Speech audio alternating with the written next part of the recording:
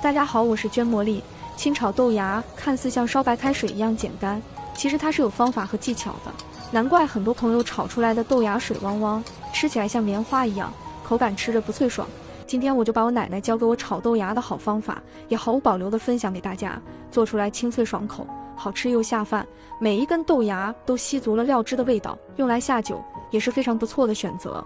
而且做出来不发黄变黑，看着就特别的有食欲。好了。接下来一起跟着我的镜头，具体来看看绢茉莉是怎么做的吧。豆芽是所有蔬菜里面最便宜的一种，像平时我们炒粉或者是煮面条的时候，放上几根豆芽，那口感就大大的不同了。我今天买的是这种绿豆芽，还有一种是黄豆芽，这里五毛钱够我们一家四口吃一顿了。豆芽是一种低热量、高蛋白、高纤维的营养食物，还包括多种维生素。碳水化合物、膳食纤维以及矿物质等多种营养成分，所以说平时适量的吃上一些，对身体的好处还是蛮多的。把豆芽处理一下，像根部这种小须须或者是烂掉的地方，一定要把它去除干净。处理好之后，再把它倒入一个大盆中，然后再往里面倒入多一点的清水没过食材，再加入一大勺食用盐。搅拌搅拌，使它充分的溶解在水中。食盐能起到一个杀菌的作用。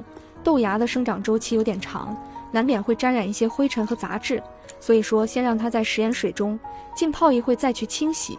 接下来再准备一个红彤彤的白萝卜，先用刮皮器刮去外皮，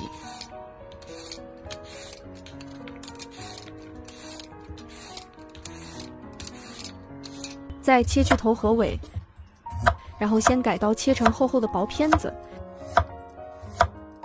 尽量稍微切的薄一些，这样营养成分能更好的释放出来，而且还能减少炒制的时间。最后改刀切成萝卜丝，切的越细越好。放点红萝卜，既增加了营养和口感，还点缀了颜色，真的是太完美了。切好之后装入碗中备用。接下来再准备几根洗干净的韭菜，有红有绿，吃着营养才美味。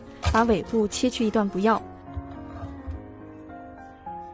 最后改刀切成五到六厘米的长段，长点短点都没有关系。切好之后装入碗中备用。接着再准备几个去皮的大蒜子，先用刀给它拍扁。拍过之后的大蒜子能更好的激发出里面的蒜香味。最后改刀剁成蒜末，大蒜子可以多来一点，那样做出来的菜就更香更有味道。切好之后装入小碗中备用，然后再准备两块钱的精品正宗五花肉，把它切成肉片。在切之前可以放进冰箱里面冷冻一会。这样切的时候就比较好切，不会像我这样子肉片粘在刀上，切着不顺畅。这也是生活上切菜的一些小技巧。切好之后装个碗中备用。接着再简单的调个味，小碗中加入一勺生抽，一勺食用盐和一勺白糖，再加入一勺淀粉，最后再加入适量的清水。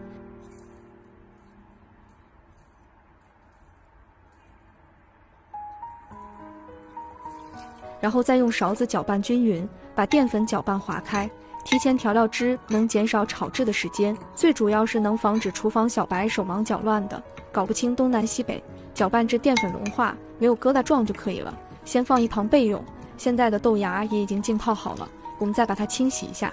这时大家可以张大嘴巴看一下，不一会的功夫。里面就已经清洗出了很多的灰尘和杂质，看着就特别的脏。先把洗好的豆芽控水捞出，然后再重新加入适量的清水，把它多淘洗两遍，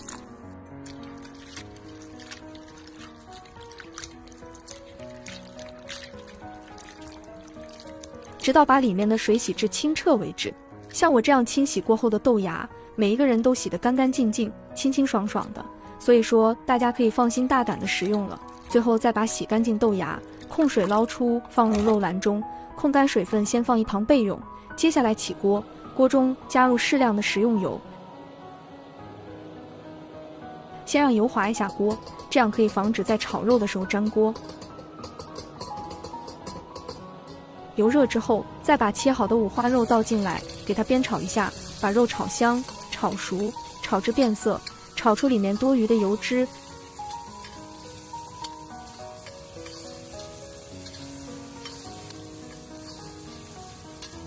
把肉片炒至微微卷起，有点焦黄的状态就差不多了。炒出来的油脂可以把它盛出来，用来炒青菜，那是相当的好吃又香。接着再把切好的红萝卜丝倒进来，继续给它煸炒，把红萝卜炒软、炒熟，炒出里面的红油。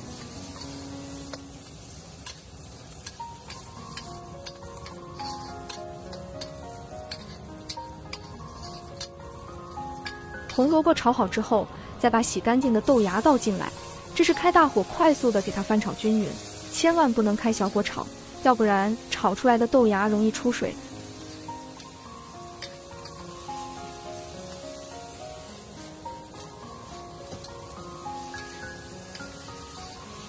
把所有食材都翻炒均匀之后，接着再把切好的韭菜加进来，最后再把调好的料汁也全部的倒进来。这时，同样的开大火，快速的给它翻炒均匀，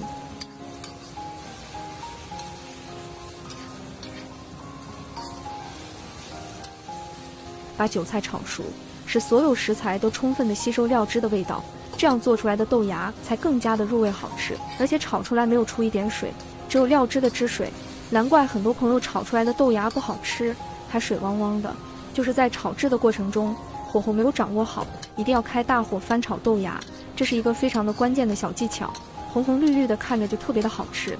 像这样一道非常简单又好吃的清炒豆芽，就这样做好了，把它盛出来，装入碗中，美美的享用吧。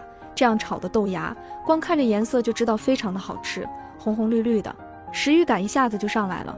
每一根豆芽都吸足了料汁的味道，吃上一口满嘴爆汁，口感清脆爽口又清甜，营养也是十分的丰富。里面有肉有蔬菜，过年的餐桌上也不能全是大鱼大肉，来上这么一盘清炒豆芽都会抢着吃。做法也是超级的简单，好吃入味又下饭，用来下酒也是非常不错的选择。喜欢的朋友赶紧点赞收藏起来试试吧。好了，今天的视频就分享到这里了，点击我的头像可以看到更多的美食视频，我们下个视频见了。